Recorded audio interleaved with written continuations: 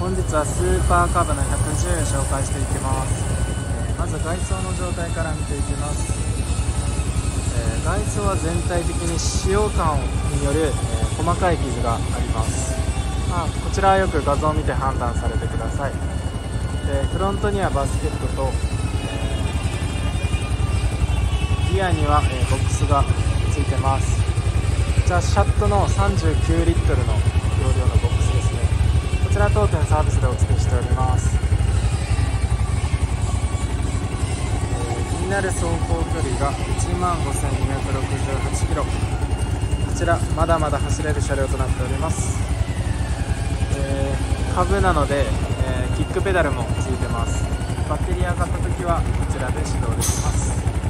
えー現在福岡店に展示しておりますので、えーお気軽にご来店ください。お待ちしております。